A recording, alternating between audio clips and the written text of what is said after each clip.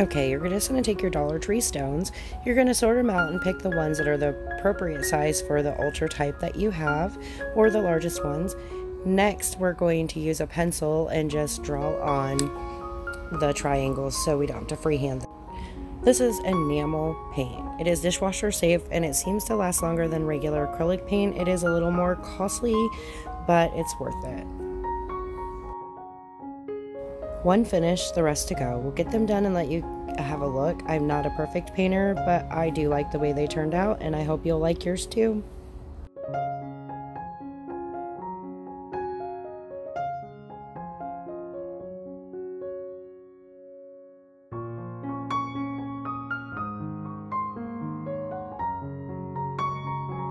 All right, everyone, here we are. I'm using my Cricut cutouts. I didn't show the process of cutting them out on the Cricut, but I am showing you how to transfer them using transfer tape and the rub-on method.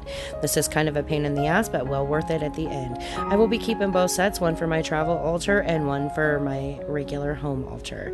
I hope everybody makes a set for yourself, and if you do, let me see a picture down in the comments. For future notice of my upcoming videos, make sure you hit the subscribe button. All right, witches, I have to get out of here because I gotta go finish packing one more week and we're on the road. Make sure you follow along with our journey, and I hope you enjoyed it as much as I do, along with this DIY. All right, witches, talk soon.